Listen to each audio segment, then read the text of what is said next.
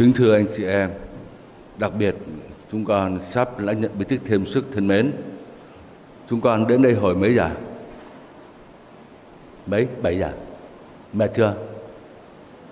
Chưa, chưa mệt là bởi vì sao? Hôm nay chúng con có vui không? Vui.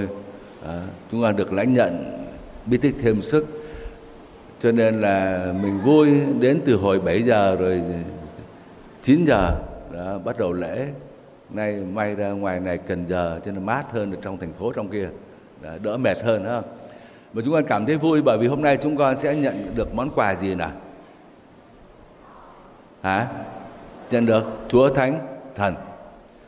Mà chúa thánh thần đến trong chúng con để làm gì nè chúng con có khao khát chúa thánh thần không? Rồi mong chúa thánh thần đến với mình để làm gì nè Hôm nay chúng con lãnh nhận bí tích thêm sức để làm gì nào? Đấy. Và xin hỏi cả quý ông bà anh chị em, những người lớn nữa, chúng ta có biết là bí tích thêm sức mà chúng ta đã lãnh nhận đó, nhận rồi đó, rồi để làm cái gì có biết không? Nhận lâu chưa? Các ông các bà nhận lâu chưa? Mấy chục năm rồi phải không? Hai chục năm, ba, bốn chục năm rồi. Nhận xong rồi cất bí tích thêm sức ở đâu rồi? Cái đồng tủ không? Thưa anh chị em, đấy, chúng ta ngày hôm nay là lễ của các em nhưng mà đồng thời những người lớn cũng có dịp để mà suy nghĩ lại về bí tích thêm sức mà mình đã lãnh nhận. Thưa anh chị em, chúng ta đã lãnh nhận bí tích rửa tội rồi. Rồi hôm nay các em lãnh nhận bí tích thêm sức để làm gì nè? Thưa để mà lãnh nhận Chúa Thánh Thần. Rồi nhận Chúa Thánh Thần rồi để mà làm gì? Để mà làm làm chứng cho Chúa. Đấy, bí tích thêm sức giúp cho chúng ta để chúng ta làm chứng cho Chúa. Bí tích thêm sức có cần để lên thiên đàng không? Cần không? Không chịu thêm sức có lên thiên đàng được không? Được không? Được chứ, phải không? Được chứ. Muốn lên thiên đàng thì cần bí tích nào là thứ nhất là bí tích rửa tội, thứ hai là bí tích bí tích gì đây? Thánh thể bí tích thánh thể ở đây, thánh lễ hàng ngày, rước lễ, rồi bí tích thứ ba là bí tích gì? Hả? Giải. Giao hòa, có tội thì xưng tội. Sạch tội mới lên thiên đàng được chứ. Ba bí tích đó là cần để lên thiên đàng. Còn bí tích thêm sức này là không cần để lên thiên đàng đâu. Mà cần để làm cái gì nè? Cần để quên rồi. Cần để làm chứng cho Chúa để xây dựng giáo hội để loan báo tin mừng. Đấy. Ôn đi bí tích thêm sức cần để làm chứng cho Chúa. Nhớ. Đó. Cho nên dù bây giờ ba bốn mươi tuổi rồi sáu bảy mươi tuổi rồi vẫn cần bí tích thêm sức à, ờ, cần ơn Chúa Thánh Thần sống dậy để mình làm chứng cho Chúa. Không phải chỉ có các em làm chứng cho Chúa mà tất cả cộng đoàn chúng ta làm chứng cho Chúa. Chúng ta nghe bao nhiêu lần rồi mà có làm chứng chưa?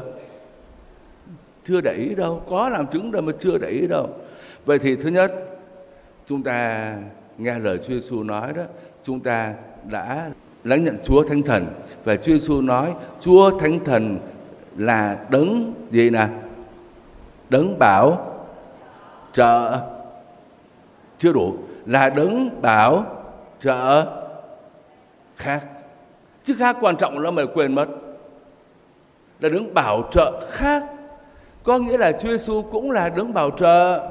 Chúa Giêsu đến trong trần gian này nhé anh chị em thấy nhé, Chúa Giêsu sinh ra nhé, rồi Chúa Giêsu giảng đạo nhé, Chúa chịu chết nhé, đó, rồi Chúa lên trời nhé. Chúa Giêsu là đấng bảo trợ, là thầy dạy của chúng ta.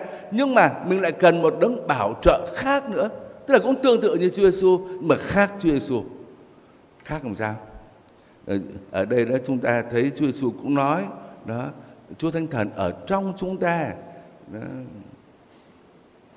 Người khác không biết mà chúng ta biết Chúa Thánh Thần ở trong chúng ta và Ngài dạy dỗ chúng ta. Ờ, tôi dùng cái hình ảnh này anh chị em dễ hiểu này. Mình nói đấng bảo trợ khác nhiều khi cũng khó hiểu lắm. Chúng con ở ngoài Cần Giờ này có đi học thêm không? Có không? Có. Buổi sáng đi học ở trường, thầy giáo dạy rồi cô giáo dạy xong rồi dạy bài học đủ chưa? Đủ rồi phải không? Thầy giáo cô giáo dạy thôi mình cứ nghĩ là đủ đi, đôi khi không có đủ nhưng mà dạy đủ rồi. Nhưng mà chúng con hiểu hết không? Không. Không hiểu. Thầy giáo, cô giáo dạy rồi, không hiểu. Rồi đến chiều về đi học thêm. Học thêm để giúp cho mình hiểu cái bài ban sáng. Được không? mà không có thầy giáo, cô giáo dạy thêm, mình không hiểu bài ban sáng đâu.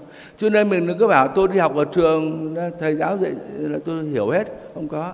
Rồi nếu mà trong những điều kiện mà thuận lợi đó người ta còn kèm kèm thêm tư gia nữa người này cần kèm thêm về toán người này cần kèm thêm về sinh ngữ người này cần kèm thêm về môn văn tùy theo từng người. Cũng là bài học đó thôi nhưng mà tùy theo từng người đó. Vậy thưa anh chị em tôi tạm uh, ví thôi. Chúa thần ờ, cao cả lắm nhưng tôi tạm ví thôi. Vai trò của đức chúa thánh thần giống như thầy giáo cô giáo đi dạy thêm vậy đó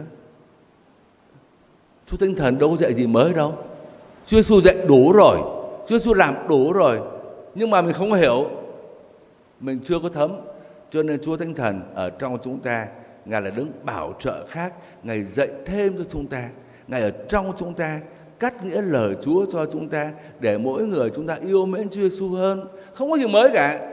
Cứ bấy nhiêu thôi, là tin mừng thôi. Nhưng mà Chúa Thánh Thần tùy theo từng người mà dạy dỗ chúng ta. Đứng bảo trợ khác là như vậy đó. đó. Chúng con hiểu không? Đó. Cho nên mỗi người chúng con nhớ là tôi đang có ông thầy dạy thêm nhé. Đó là Chúa Thánh Thần đang dạy thêm trong lòng chúng ta này. Chúng con nghe lời Chúa Thánh Thần. Rồi điều thứ hai cha muốn nói với tất cả chúng con và cũng là nói với cộng đoàn là Chúa Thánh Thần ở trong chúng ta để chúng ta làm chứng cho Chúa. Đừng quên nhé, làm chứng cho Chúa. Làm chứng bằng cách nào? Thứ nhất, bằng cách là chúng ta sống như là con cái của Thiên Chúa, sống tâm tình của một người con của Thiên Chúa. Trong bài đọc thứ hai đó thì ờ, anh chị em nghe thấy thánh Phaolô gửi cho tín hữu Roma nói làm sao này nhờ có Chúa Thánh Thần thì chúng ta được gọi Thiên Chúa là là cha đấy nhưng mà mình dịch là cha thôi nhưng mà đúng cái tiếng mà Thánh Phaolô nói hôm nay chúng con vừa nghe ở trong bài đọc là gì? Gọi Thiên Chúa là Abba. Cha thì cũng đúng nhưng mà thế nó lạnh nhạt quá. Abba Abba là gì nè? Abba không phải là cha đâu. Là gì? Ba. Abba là ba ơi, bố ơi. Nó thân mật như vậy đó mình nói cha mẹ thì nó cũng đúng rồi nhưng mà nó có vẻ nó lạnh nhạt lắm tiếng ở trong văn chương trong chữ nghĩa thôi. Nhưng mà ngôn ngữ bình thường có ai gọi nhà mà cha hay cha có ai gọi không? Ít lắm. Thường là gọi là gì? Bà ơi bà bố ơi bố đúng không?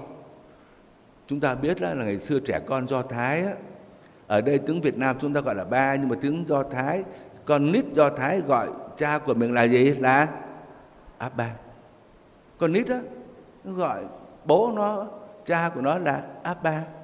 Vậy thì Chúa Giêsu cũng đã gọi Đức Chúa Cha, gọi Thiên Chúa là gì? Là Abba. Có nghĩa là Chúa Giêsu như là một người con con nít vậy đó.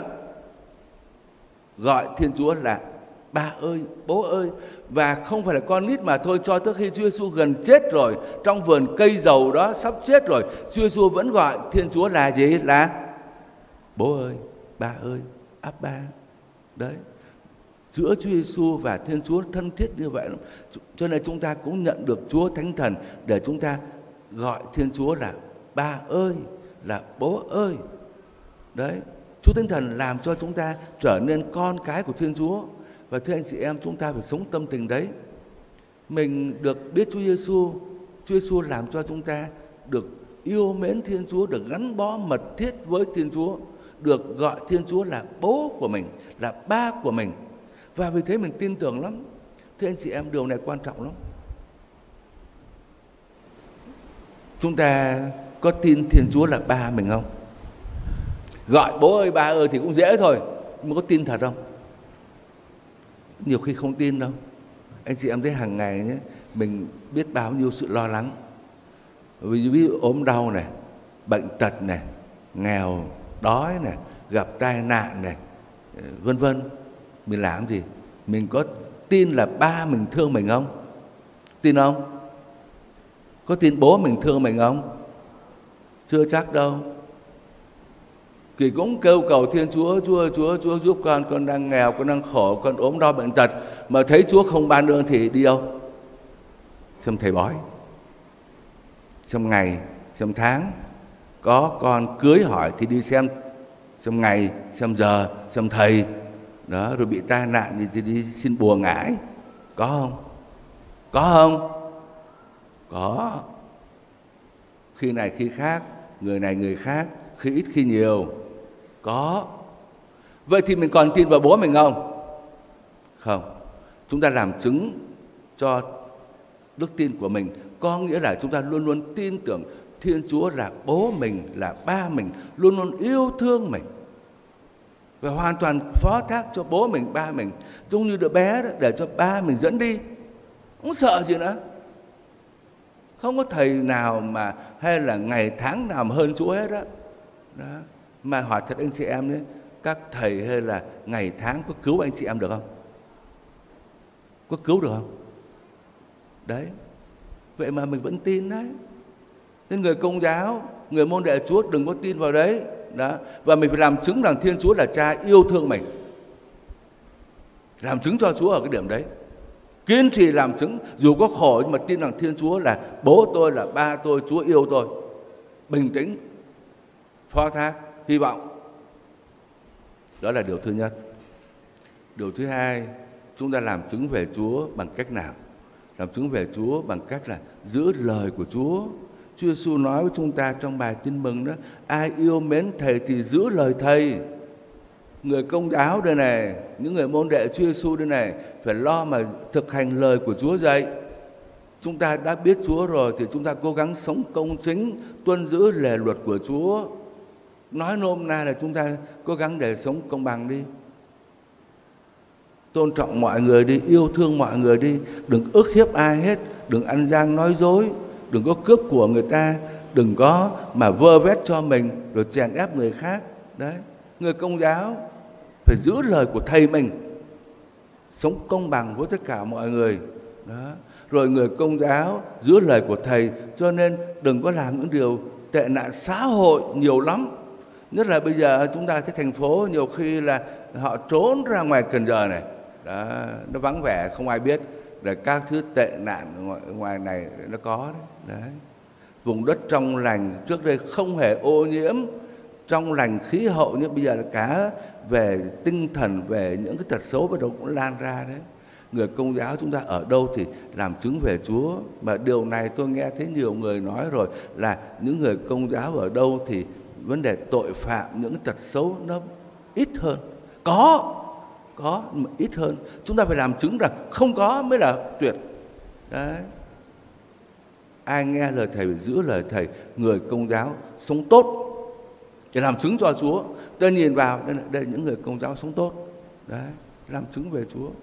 Rồi điều thứ ba trong bài đọc thứ nhất chúng ta thấy tiên tri Isaiah nói đó là người nào có Chúa Thánh Thần đó, thì làm sao?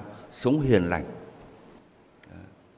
người tôi tớ đầy thần khí, cho nên không ai nghe tiếng của người ở ngoài công trường không ai phải nghe thấy ông to tiếng bao giờ hết. Rồi những cái tim đàn này nó có leo rét khói thì không nỡ lòng lòng nào mà dập tắt nó đi. Rồi cây lau bị dập đó không nỡ lòng nào trà đạp lên nó. Có nghĩa là gì? Người nào có chúa thánh thần thì làm chứng cho chúa bằng sự nhân từ, bằng sự cảm thông, bằng sự bác ái anh chị em làm chứng cho Chúa bằng cách là chúng ta sống giữa cái khu xóm của mình, sống hiền hòa với mọi người. Người công giáo đừng có bao giờ mà cãi nhau, đừng có bao giờ mà tranh chua, đừng có bao giờ mà hận thù, gian ác với ai hết. Người công giáo làm chứng về Chúa, về sự nhịn nhục, về sự hiền từ, về sự tha thứ, sống vui tươi với mọi người, quảng đại với mọi người, hài hòa với bà con lối xóm của mình. Đó là làm chứng cho Chúa. Mà phải có sức mạnh Chúa Thánh Thần mới làm được. Chúng ta đừng có nghĩ là tự mình làm được đâu. Nói nói vậy đó, phải có ơn Chúa mới làm được. Tự nhiên chúng ta dễ tranh chấp, dễ ờ, kèn cựa, rồi dễ trả thù, dễ bực bội. Người khác lắm, dễ lắm. Nhưng mà Chúa Thánh Thần ở trong chúng ta, làm cho chúng ta trở nên hiền hòa hơn, yêu mến mọi người hơn thưa anh chị em đấy chúng ta để ý nhé. Thứ nhất chúa thánh thần giống như ông thầy dạy thêm nha. À, nhớ như vậy đang ở trong lòng tôi này đang dạy thêm đang soi sáng trí khôn tôi này. Đấy rồi chúng ta làm chứng về chúa nhớ làm chứng nha. Làm chứng về chúa thứ nhất bằng cách nào? Tin tưởng nơi thiên chúa là bố mình là ba mình phó thác cho ba hết tất cả. Thứ hai là sống giữ lời của thầy mình sống công chính sống thánh thiện đừng có rơi vào các thứ bê bối, tội lỗi, tệ nạn xã hội. Không. Thứ ba là làm chứng về chúa bằng cách là sống hiền hòa với tất cả mọi người. Và nếu được thì mà phải thêm điều này nữa là phải sống bác ái, gặp những người khó khăn, yêu thương, mình giúp đỡ, mình yêu, mình mình cảm thông, mình thương xót, giúp đỡ, đặc biệt là cho những người nghèo. Đó, cho những người đang cần sự trợ giúp của chúng ta, làm chứng về tình thương của Chúa kính thưa anh chị em, hôm nay các em lãnh nhận bí tích thêm sức. Chúng ta có dịp suy nghĩ về bí tích trong cuộc đời chúng ta và ước mong rằng tất cả mọi người nhé, những người lớn, các cụ, các ông, các bà, ngay cả các em, chúng ta làm chứng về Chúa. Nguyện xin Chúa Thánh Thần ngự đến đầy tràn trong lòng chúng ta. Amen.